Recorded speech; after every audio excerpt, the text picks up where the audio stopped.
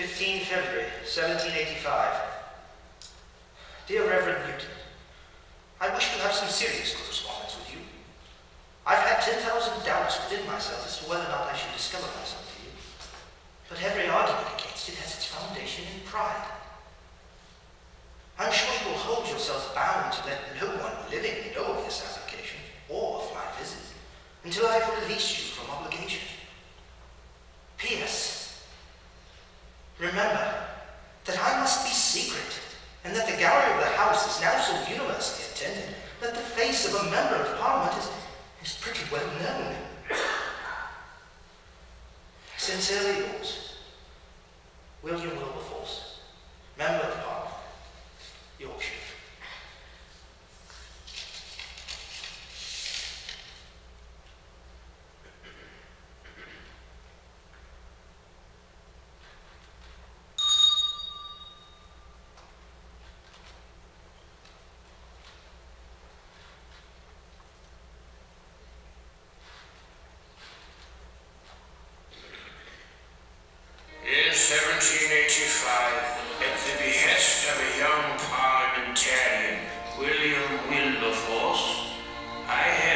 in my London home that would forever alter the course of Western history. His letter was so secretive, I did not know what to expect from the young man I had known as a child. But one thing was clear. He was very bothered,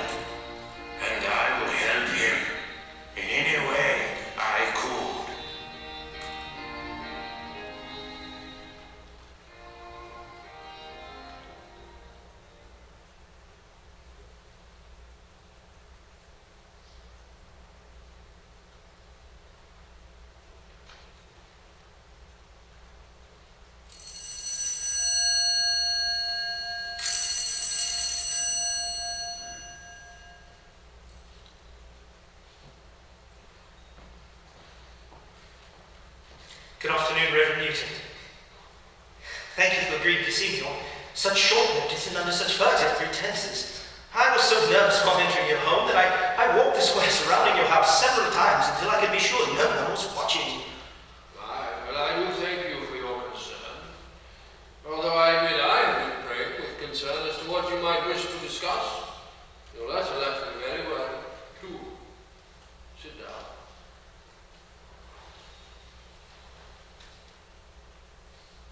You know, I have such fond memories of you as a, a little one in old. Your Aunt Hannah, my half-sister, used to come around quite often. You, you have all been in my prayers constantly. Thank you. Yes, I too have fond memories of all things, which is one of the reasons I was so drawn to coming to you for advice. I, I fear it's not a, not a trivial matter. I- In fact, I had many doubts as to whether or not I should even bring this to you. For, forgive me. Please, go. Reverend, I feel that God Almighty has called me to do something great with my life. To serve Him just as you have.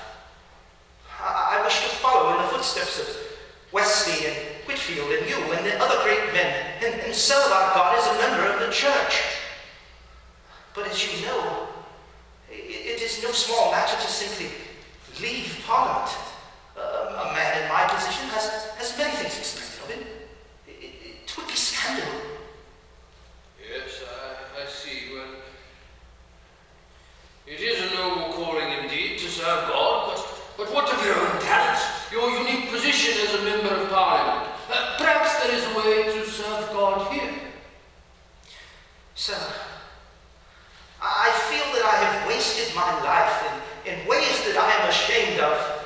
Spending time in high society, frivolous parties, gambling tables. It wears on me much. And after reading your writings, I can tell that you too feel the same pangs of the past, stabbing at you, taunting you.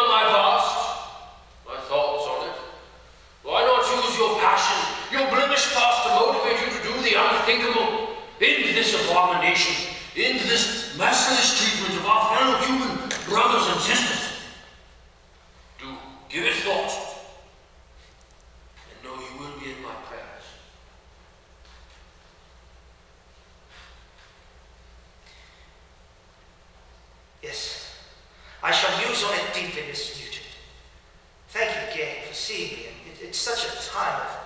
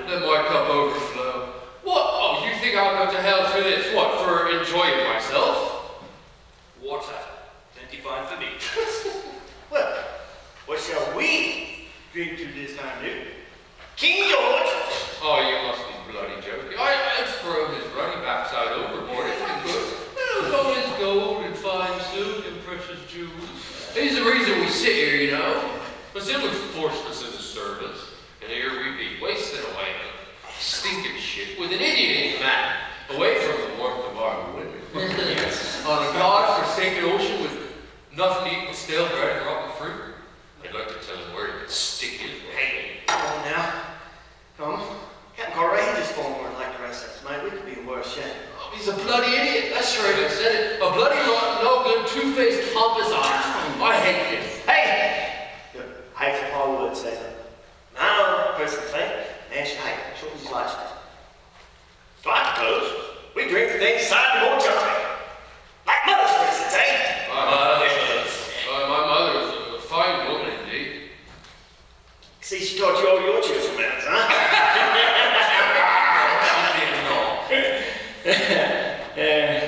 hubo,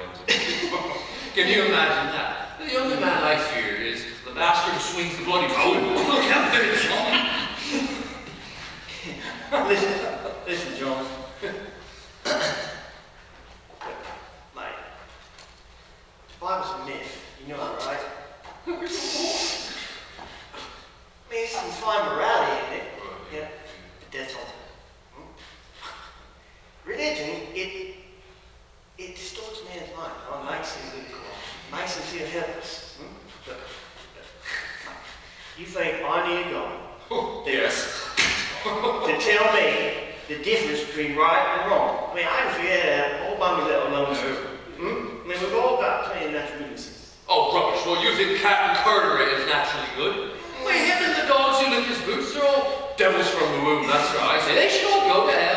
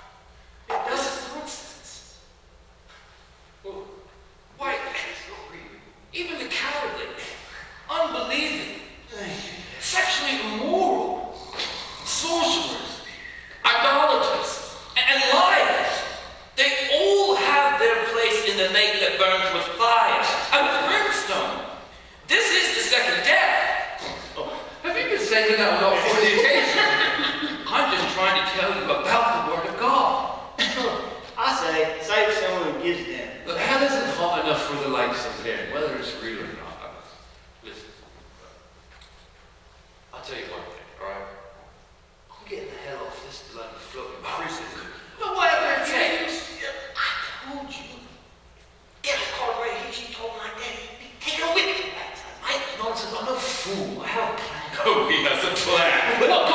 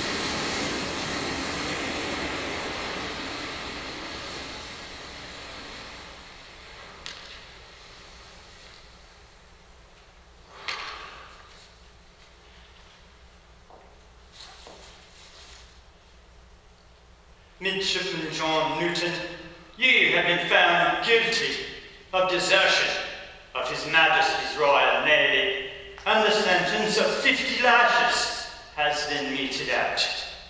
Your rank and wage will be reduced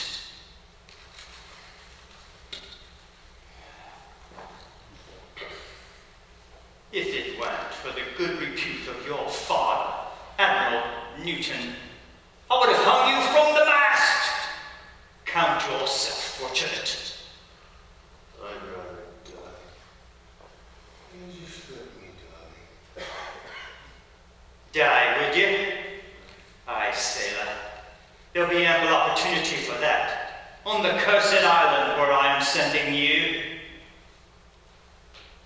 Officer Lewis, see to it this man disembarks my ship at the first sight of land. Aye, aye, Captain.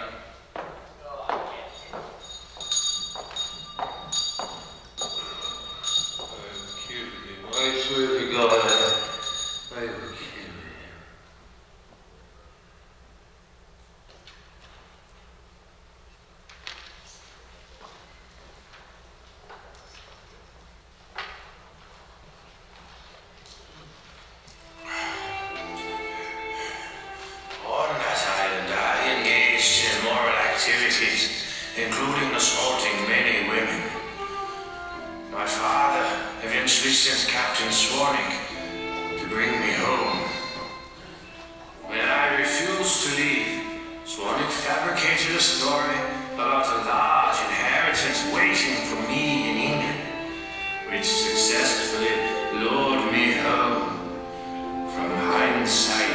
this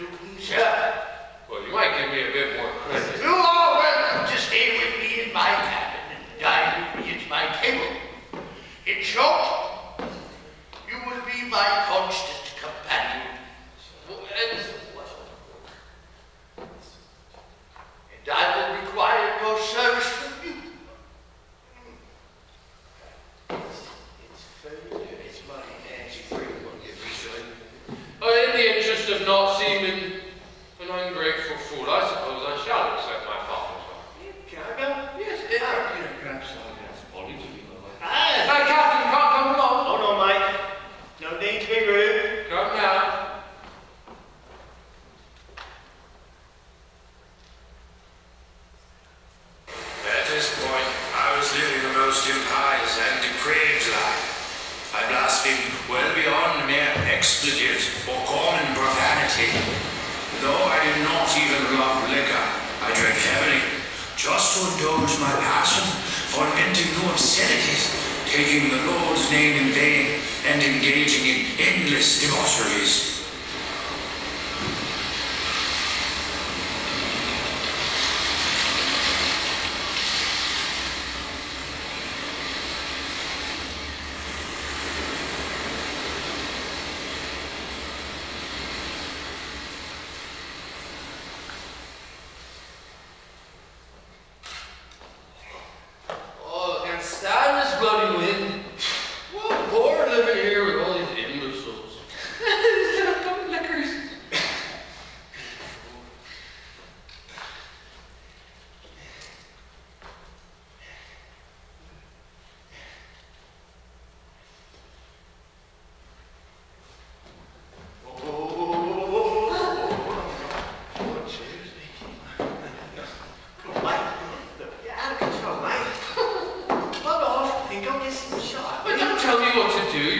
Spirit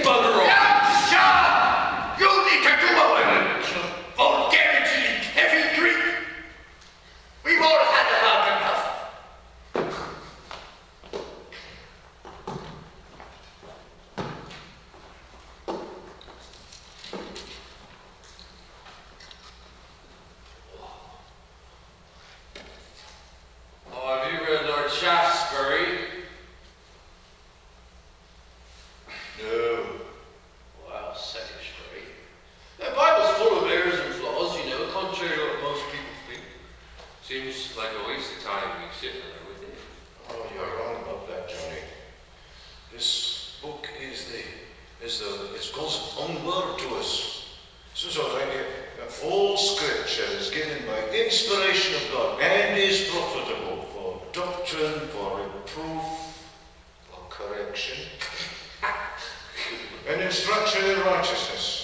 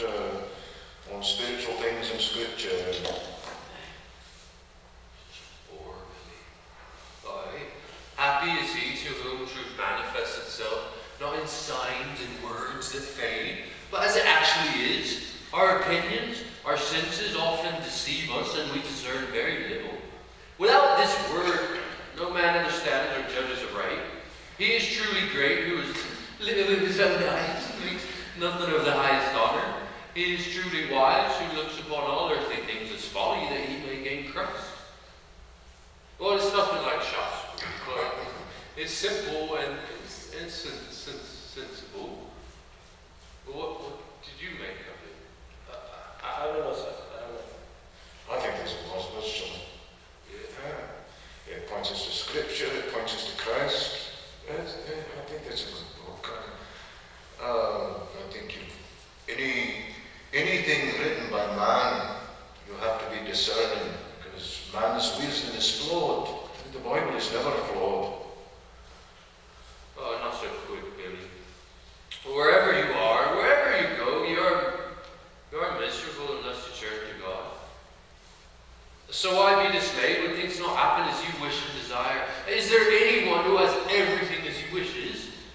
Riches and material things are uncertain and very burdensome because they are never possessed without anxiety and fear.